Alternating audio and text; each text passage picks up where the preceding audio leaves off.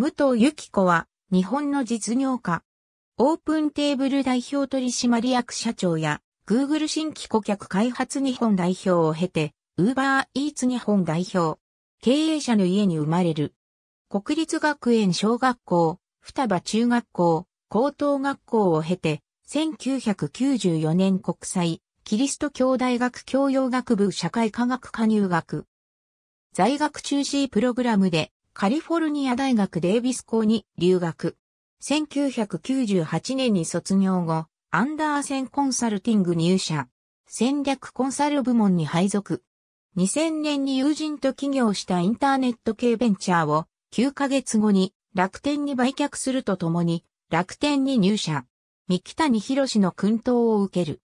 三木谷の勧めでハーバード大学、ハーバードビジネススクールを志望するも果たせず、働きながら取得できるエンバプログラムに参加し、2012年にコロンビア大学コロンビアビジネススクール、香港大学ビジネススクール、ロンドン大学ロンドンビジネススクールのエンバグローバル、アジアでエンバを取得。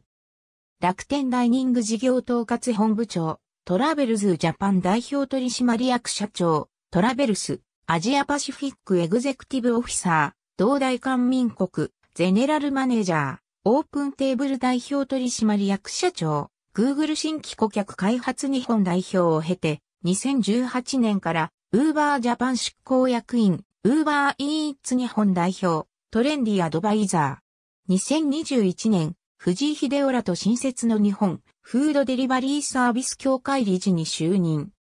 2021年6月22日、不法残留しているベトナム人らを配達員として働かせたとして、警視庁組織犯罪対策一課により、不法就労助長の容疑で書類送検される。ありがとうございます。